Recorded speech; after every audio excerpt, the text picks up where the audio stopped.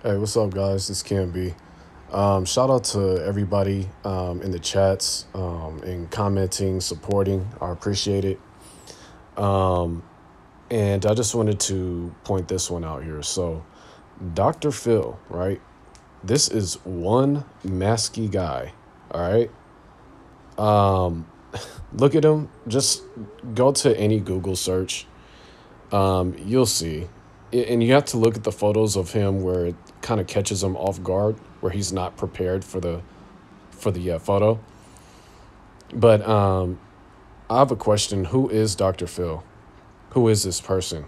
Because clearly he's wearing a mask, and it's very realistic. So it, it and and it's funny because you'll see a lot of like, oh well, you know he's wearing makeup and all that kind of stuff, so he looks weird. Nah, that's you gotta you, you gotta understand.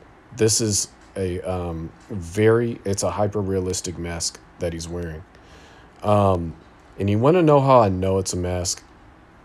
So Dr. Phil shaved, and apparently he, um, well, yeah, Oprah did like a little photo op um, to make it seem like you guys could go go watch this.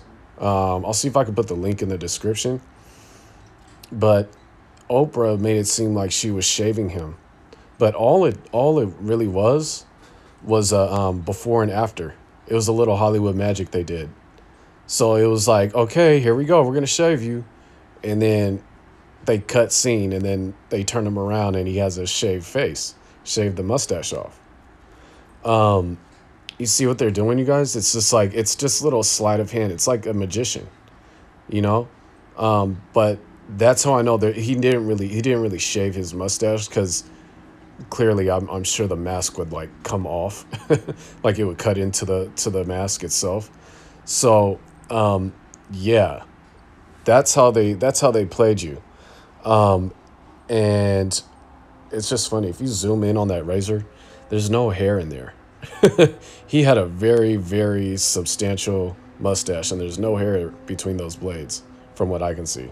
I don't know. I'm just looking at the little stuff, but yeah, Dr. Phil's wearing a mask. Um, and if you guys know who he is, please please comment.